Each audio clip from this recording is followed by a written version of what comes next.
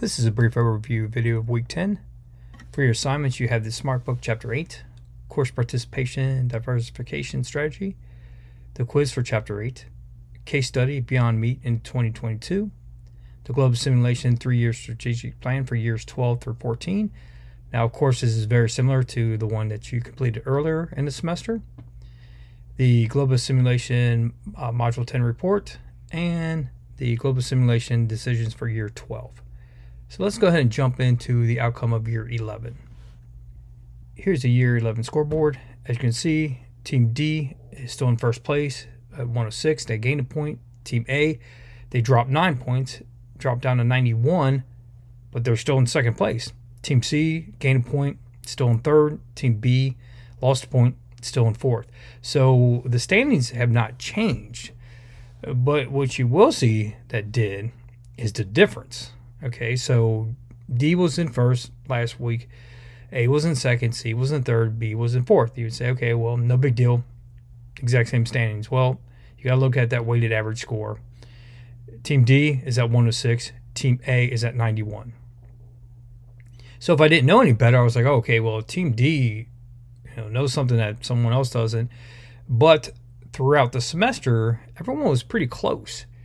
The difference is Team D is not letting off the gas. As you can see, they gain only one point, but that's the difference. You know, sometimes all it takes is gaining a point or even staying even, like I said before, to hold your lead or even increase your lead because now, since Team A dropped nine points, uh, you know, Team D's got a nice cushion now. So if we go ahead and look at the game to date scoreboard, Team D is at a 108, Team A is at 97.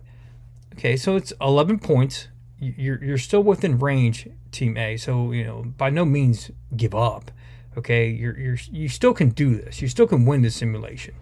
All it would take is you have a good year in Team D to dip. Now, I wouldn't bank on Team D to dip, so I would really just challenge yourself to try to really enhance your um, decisions and try to, to make up more ground. Uh, team C, you're at 96, so you're right behind Team A now. So what I just said about Team A applies to Team C. I mean, you're only 12 points away, so only one more than Team A. So then again, you know, if you continue moving in the right direction, because you only gained one point, but you didn't lose any points this week, you know, you still got a great chance. Now, Team B, you're at 86 and you did drop one. You couldn't afford to drop one. And I've always said be 90 or above.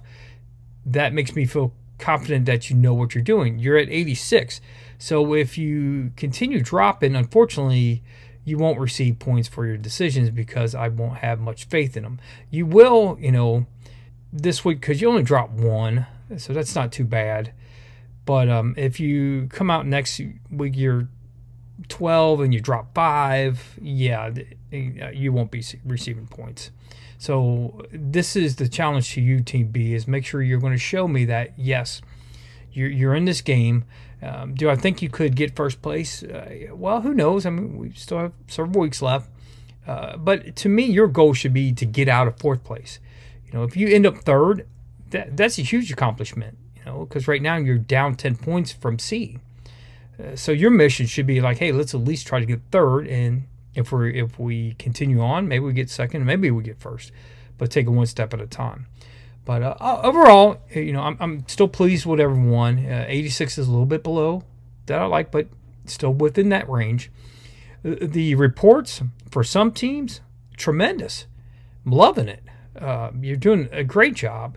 For other teams, I'm providing the feedback, and I just don't feel like you you're not taking into account the feedback, or you don't care about the feedback. I mean, you're not going to change your reports no matter what. And what I'm getting at is your report should have a nice cover page. It's easy to do. I'm not asking for the world here. And your report should be formatted in a professional manner. It shouldn't look generic. You know, it should have some nice charts and graphs and images. Does it have to have all of that? No, but it should have some of it. And definitely should have a cover page. So keep that in mind. Uh, but then again, for, for teams who are doing um, excellent reports, you already know that because I make sure that I put that comment in there. You know, especially if you have the best report of the week. You know, I say, hey, by the way, this is the best one I've seen. Um, and sometimes I'll put this is best one I've, I've ever seen. So keep that in mind. You know, if I make that comment, I, I mean every every word of it. Uh, and uh, continue to challenge yourself, though. Just because I'm saying you have a great report, don't just mimic the same report over and over. Try to mix it up a little bit. Uh, now, with that said, it's not mandatory, um, but why not? You know, why not challenge yourself? It's capstone. So, as always, you know, feel free to reach out to me if you have any questions. Have a great week.